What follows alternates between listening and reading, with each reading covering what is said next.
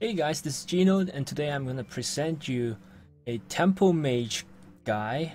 I recently brings Tempo Mage to uh, recent tournaments, uh, including the NISO 2015.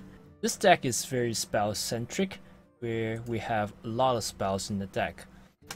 So let's take a closer look to the deck. In this version uh, of Tempo Mage, we have actually 15 spells.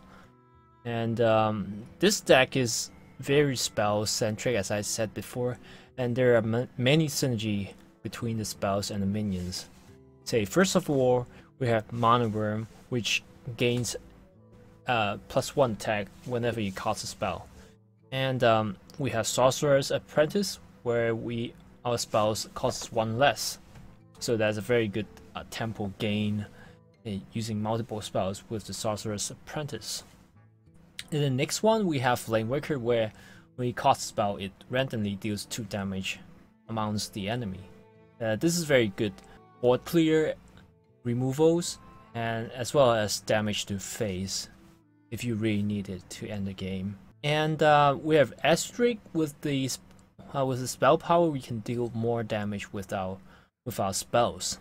Of course, the Archmage Antonidas this is a really strong minion where you can play spells and gain a Fireball, which uh, gives you more power and card advantage in the late game. So, uh, what are the matchups of this deck? I think the uh, good matchups of this deck is Druid, uh, Warrior, and Paladin. And the bad matchups is usually Zoo, Face Hunter, and Reno, or maybe some uh, Shaman as well. Okay, um, without further ado, let's start from uh, let's play some games.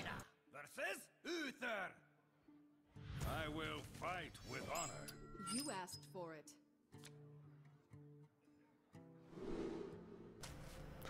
Okay, in the mulligan phase, I think we want to keep uh, some low-cost spells and minions, and especially against Paladin, uh, Arcane Missiles is very good against uh, his uh, silver hand recruit so we we're gonna keep that oh by the way because I found that the mic is uh, was muted when I record this game so that I have to do it afterwards and in this turn we're gonna play uh, Mana Wyrm. so yeah we, we're probably gonna play Mana Wyrm. uh, the reason of this is because um, if we coin out Mad Scientist this turn, we probably need to play uh, Mana Wyrm and and uh, we're not sure we're gonna play Arcane Missiles next turn. So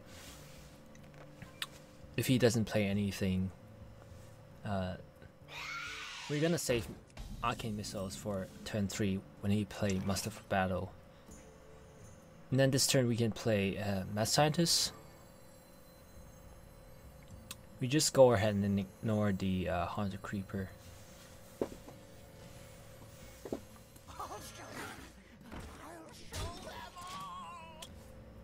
Probably no way to, for him to deal with the uh, Mana Wyrm next turn.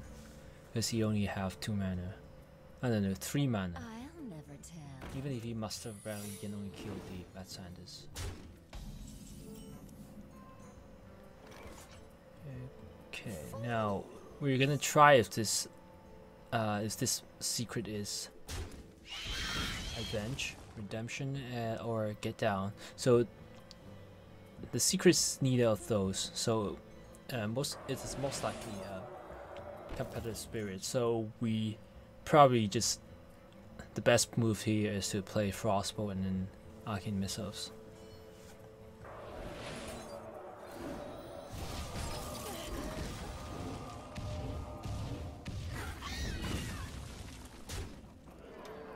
We're gonna now we have a 3-3 mana wyrm and then we go ahead and hit face with that. It already created a lot of pressure to him so he has to find a way to answer this. And again he play um, the Piloted Shredder on curve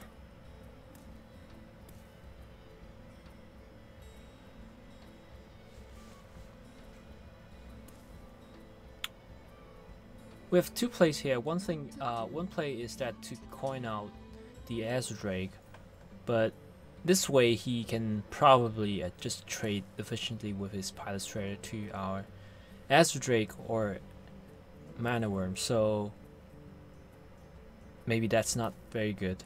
The other play is to uh, like Frostbolt, Mad Scientist, and Mirror Image. Let's Frostbolt and see what he gets. He gets 32 taunt, so we're gonna trade Mad Scientist into that.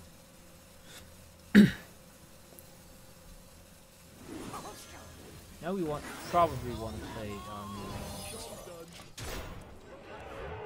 Even if he consecrate here, he cannot kill the uh, mana wyrm, so prob it, it is probably good for us.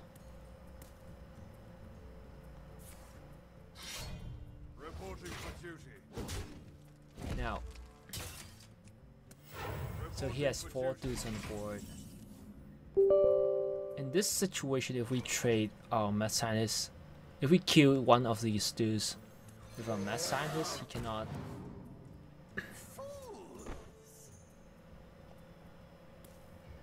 He cannot kill uh, our Mad Scientist and Mana Wyrm in the next turn.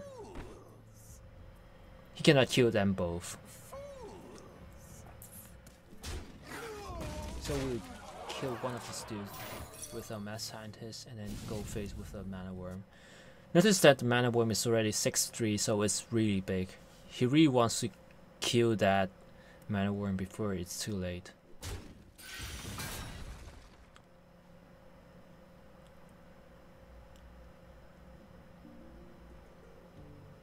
Actually, we ha already have tons of damage. We get get tons of damage from the Mana Wyrm already. So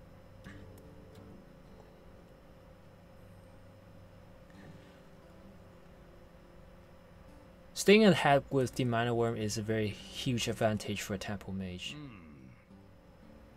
Again, stacks that doesn't have very good AoEs.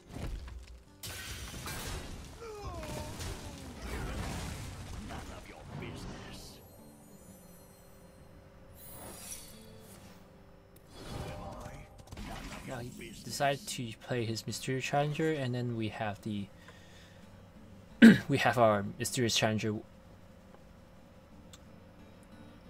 with the mirror image. But unfortunately, we got our mirror entity. So let's think about how we can trade here. It's probably a noble sacrifice, so we go ahead and sacrifice our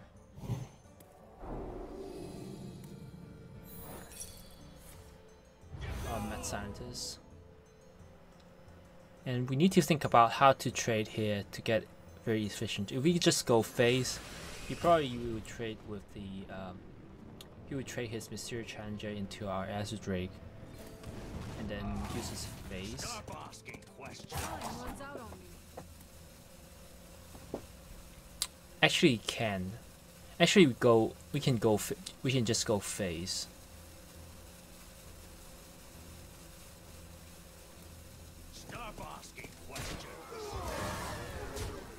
But we. But I decided to um, kill his five four with the uh, Myst- Mysterious Challenger. It still gives us six six, six one though.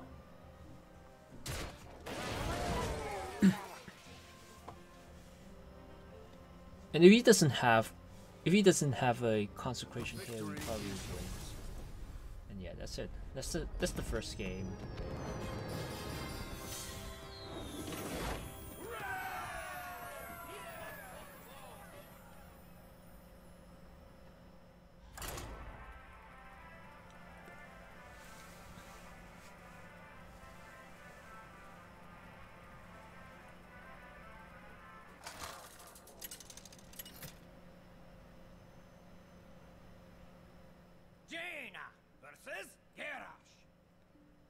Second game is against uh, Warrior.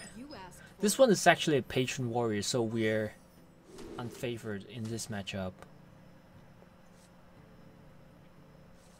The way we're gonna win this game is try to give him early pressure with uh, low uh, with Mana Wyrm, Mad Scientist, things like that. Try to establish the board as early as we can because when he go out of control with the patron, we cannot catch up. Not with this deck, especially when we don't play Flame Strike. Even if you have Flame Strike in your deck, um, if you don't draw it, or you can only clear one patron's patron swarm with the flame strike. If he establishes another a second patron swarm, you're probably dead anyway. So now we see um, Finley here, which makes us think that it's probably a patron warrior, because because only because only patron warrior runs Finley, right?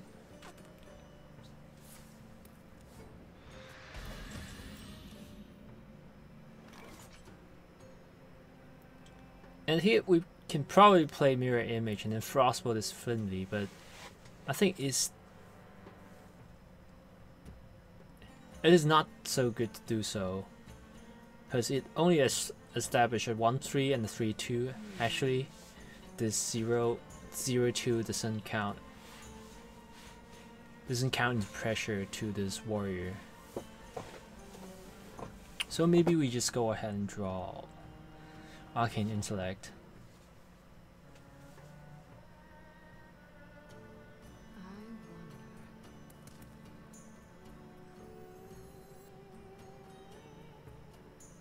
And play Arcane Intellect.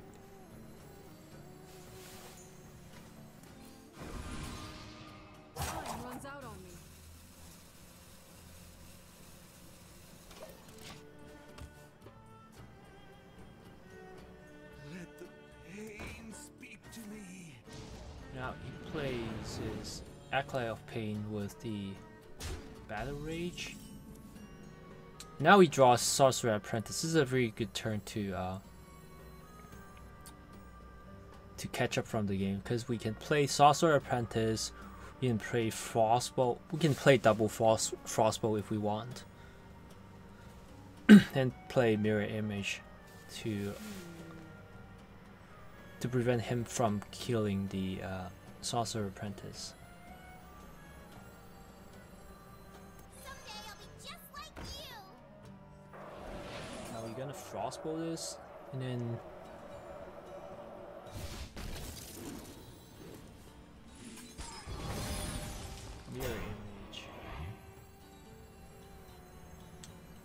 and buff our uh, sorcerer apprentice into 4 3. Hopefully, it doesn't die next turn.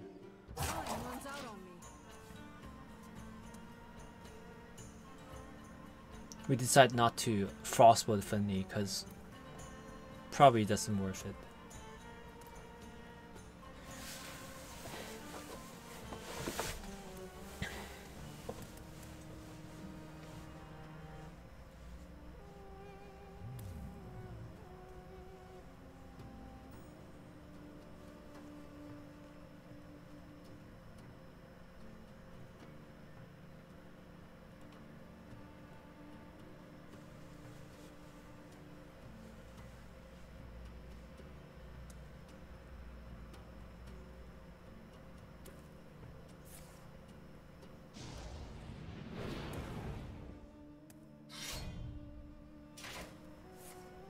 Unfortunately, he finds a way to I mean, at least kill the, uh, kill, kill a sorcerer apprentice.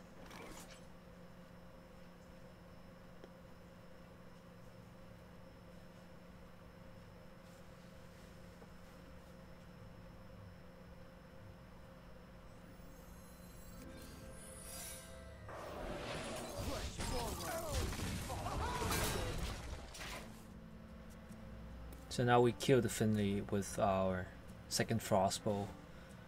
And we only have a mirror entity in play. That is a very weak turn for us. And he he can probably play something like Armor Smith.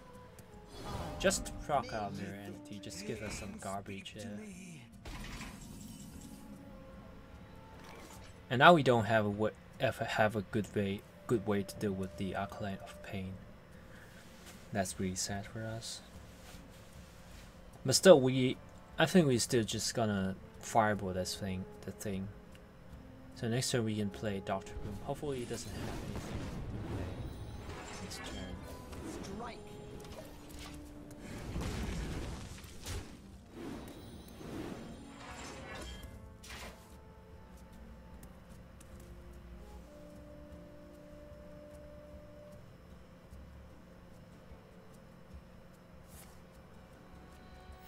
Unfortunately, he's gonna coin out his Doctor Boom.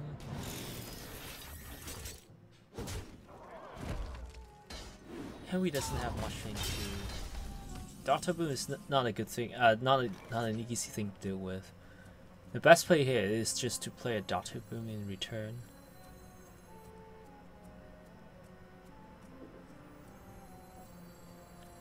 And hope our Boom's RNG are better than his.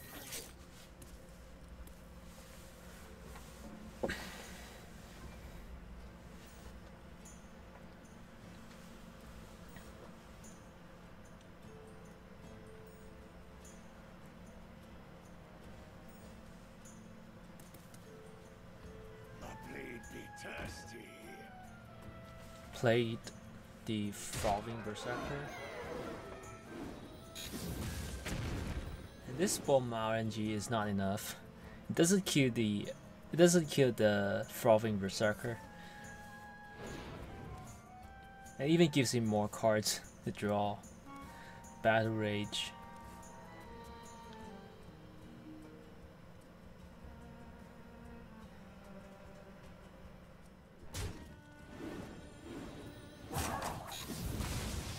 It gives him the opportunity of using his execute without using the without trading in his second boom boss.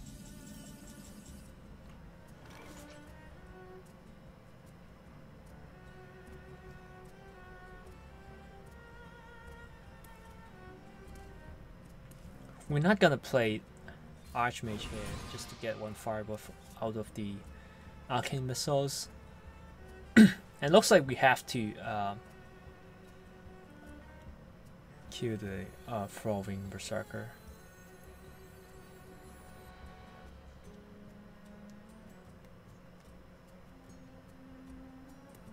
Really want to kill the Frothing Berserker over his Doctor because the Frothing Berserker is 9 power.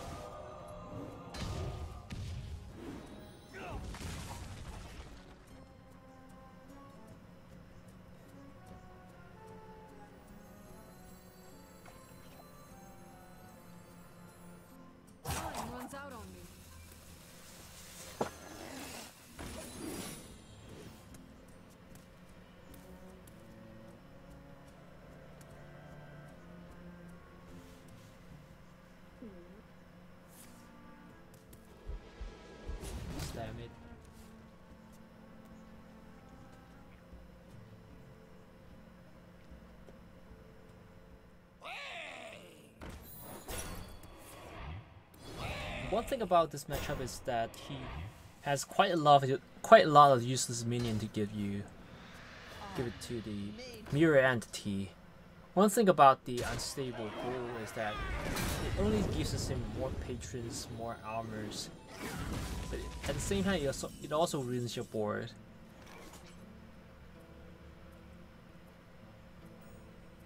This is really bad for us. He already gave us an armor smith and uh, and an unstable portal. Now we can only YOLO it and see if we can kill this Doctor Boom. Hopefully he doesn't have an answer for Antonidas and even lose this RNG. So there's not not much we can do here. So we just concede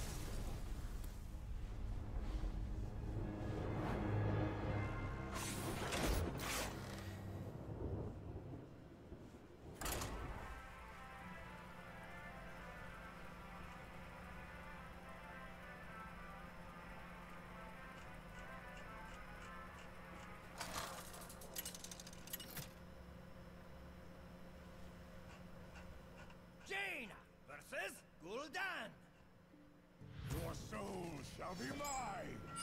You asked for it.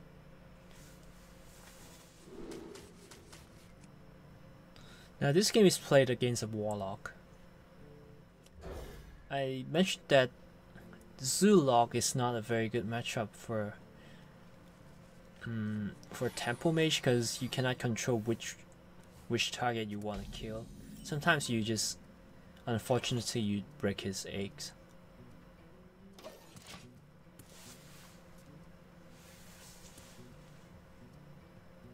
Which is very bad for us.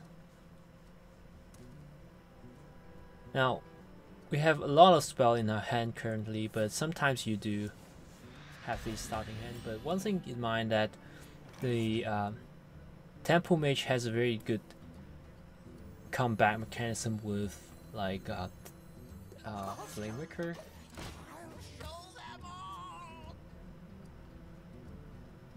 Plus the Sorcerer Apprentice, where you can use a lot of spells and uh, clear the board with uh, Flame Waker. and we have a lot of a lot of one one mana spells, so you can use as many as you can if you have them in your hand. The Twilight Drake.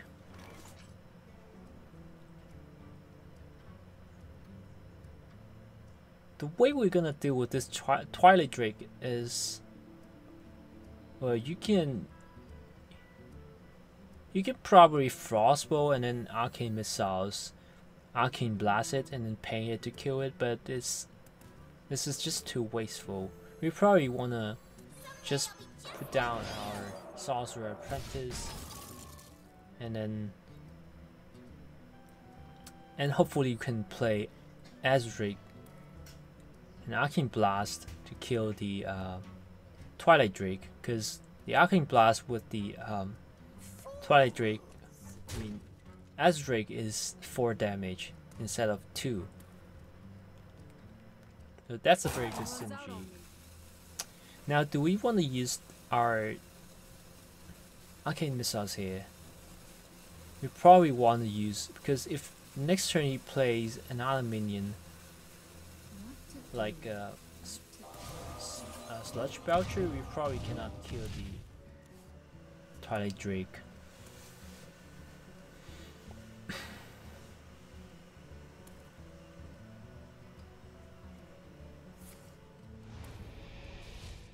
Dark Worm this and that's fine.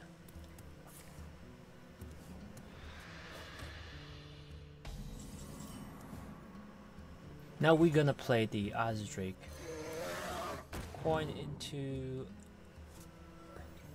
the Arcane Blast as planned.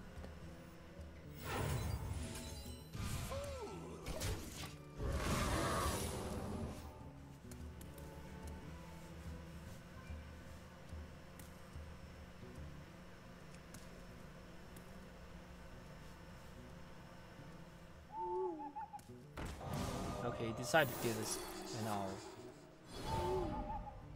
Which is which is literally the worst mini we could get from the from a handlock.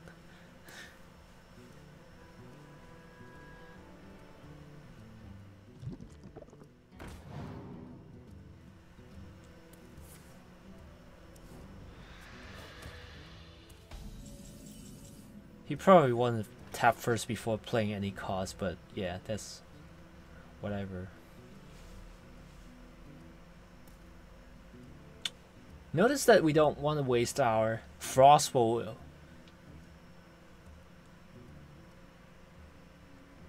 uh, on the acidic swarmers because we want we want to save some burst against a handlock. So we probably want to just trade the all into these three twos. And do we want to play the uh, mirror image? Or we can play the uh. I think it's possible. I think it's negative. You just want to play. Um, I guess we just want to play mirror image for the damage from uh, Flamewaker. And now what can he do? He probably has an AOE. Yeah, Hellfire. And, uh, maybe you wanna use a smaller core as well. And again, he, he gives a he gives us another owl. Oh, we got double owl with Mirror this game. That's very sad. Because against Handlock, you usually get something very cool, right? Right. But never mind, we're gonna frostbolt his face and end this game. That's it. That's the third game. Tempo Mage.